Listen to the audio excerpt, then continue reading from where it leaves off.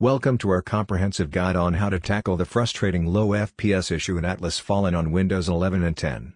We understand that the captivating graphics and exciting gameplay can be hampered by poor performance, but fear not.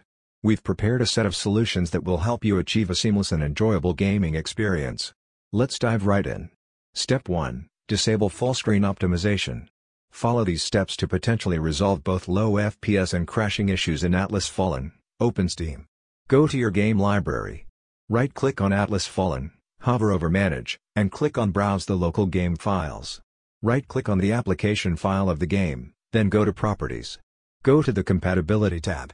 Check Disable Full Screen Optimization. Click on Apply and OK. Step 2. Update the display driver. Keeping your GPU driver up to date can significantly improve performance. Open Device Manager. Right-click on the GPU you're using, and click on Update Driver. Select Search automatically for drivers and complete the process. After updating, restart your PC. Step 3. Set power mode to best performance. Adjusting your power settings can make a noticeable difference. Open Windows Settings. Go to System and click on Power. Click the drop-down option next to Power Mode and select Best Performance. Go to Display in the System tab. Navigate to Graphics. Select Atlas Fallen, tap on Options, and check High Performance click on Save. Restart Windows. Step 4. Disable Sync.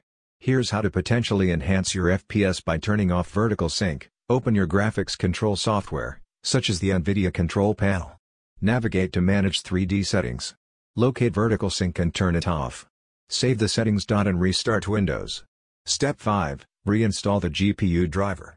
If previous steps haven't fully resolved the issue, try reinstalling the latest GPU driver. After following these steps, Relaunch Atlas Fallen and see if the low FPS issue has been resolved. If you're still not satisfied, here are a couple of additional tips. Update Windows to the latest version. Consider rolling back the GPU driver to a previous version.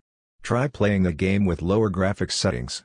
With these solutions and a little perseverance, you'll be back to enjoying the immersive world of Atlas Fallen with smooth performance and high frame rates. Best of luck on your epic gaming adventure.